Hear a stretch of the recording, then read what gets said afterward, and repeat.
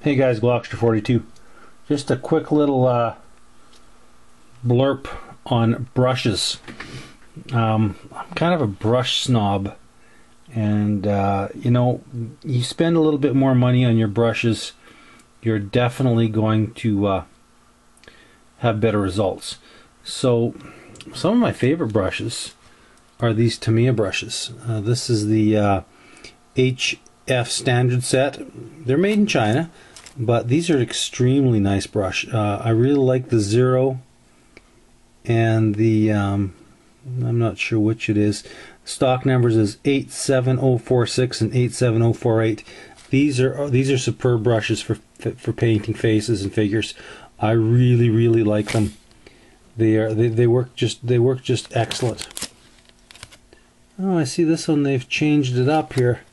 I've got one as a flat brush and one as a detail brush. The detail brushes are superb. And here's the one I was looking for. It's 87049. That is just a superb brush. Like that's 750 and this and this one is 13.99. So basically it's almost uh, a, a buy two get one free in the package like this. Mind you, of course, where I bought this, these guys, their prices are just honestly they're stupid. I don't know how they're still in business, but anyway, um, the Duncan brushes, white sable, they're not bad. I've had this double O brush for years and years. It's getting pretty rough, but for little detail washes, it's good. I'm not crazy about these uh, IMEX brushes. The um, I know a lot of guys say, you know, go natural, go natural, but I, am getting to a point where I prefer the synthetic brushes, uh, the synthetic tips. They just seem to work so much better. I do have one here. This is a white sable. It's um, a Robert Simmons number four. It's an extremely nice brush. It's very good. Now it's this is probably about a nine dollar brush, but like I say, you get one of these brushes, and uh, it's going to last you. This this one here is probably ten years old. Now coming to my favorite brushes are these Loew-Cornell brushes, the 7000C in a 3.0 and their 795 round series, white nylon. They're synthetic uh, brush, but oh, they are just, they hold up. They hold the paint nice. They flow good. Highly, highly recommended, guys. Now, this brush is about $9 up here at Michael's. If you can find maybe $10 in a specialty art store.